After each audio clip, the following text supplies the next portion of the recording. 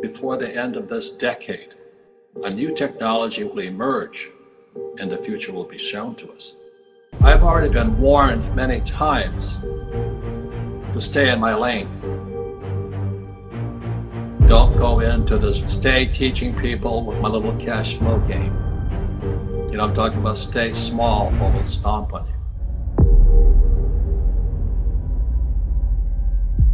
I won't talk about conspiracy, but something's fishy about this corona crisis. There's something very fit. Why did they have to shut down the whole damn world? And I think it's because they're covering up something very, very big. And in December, I mean, September 2019, the shadow banking system collapsed.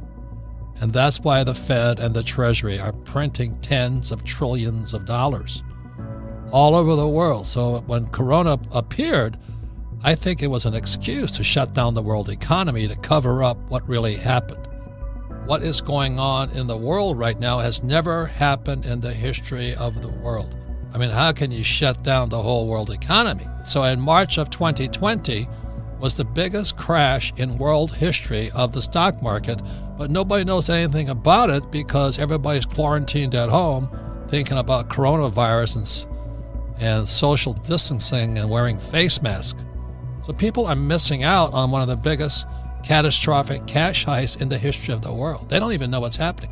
And then to have it come through via a virus or what Nassim Taleb calls a black swan, even more dastardly, and then to shut down the whole world's economy and put millions of people out of work and destroy, you know, small business owners, the, the lifeblood of the world to save the rich the really, really rich is, I think, criminal.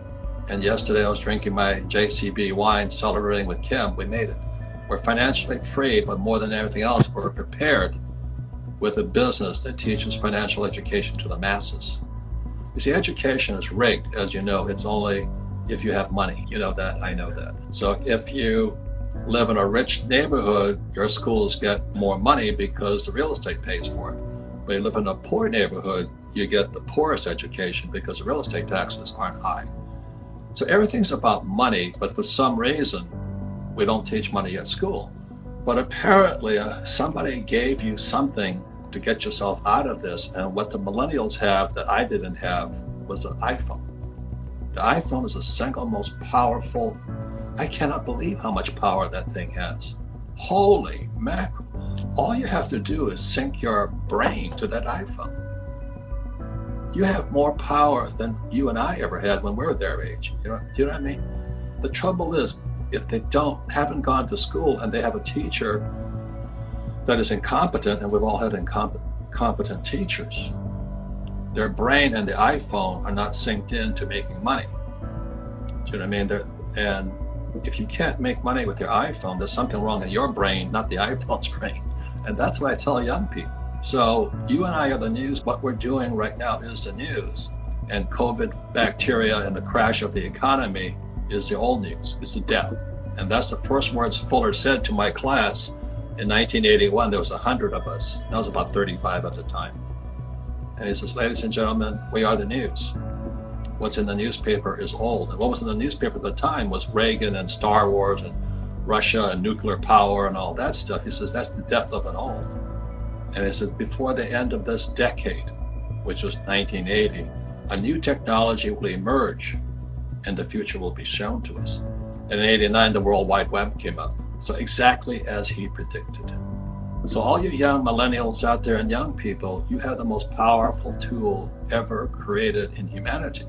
The question is, how are you going to use it? You can use that iPhone the way we're doing it right now to educate, to inspire, to teach, or you can watch porno on it what's up to you.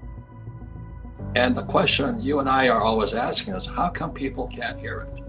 So the reason what Fuller said to me back in 81 to our class is we are the news. So today as the world is collapsing behind of us with the stock market and employment, businesses are collapsing, it's, it's fake. It's not real.